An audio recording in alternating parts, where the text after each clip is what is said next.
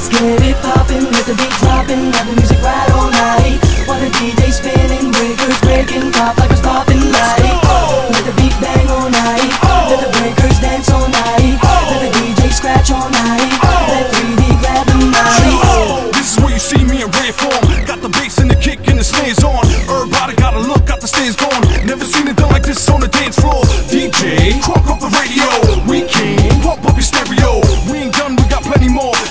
let it blast from the trunk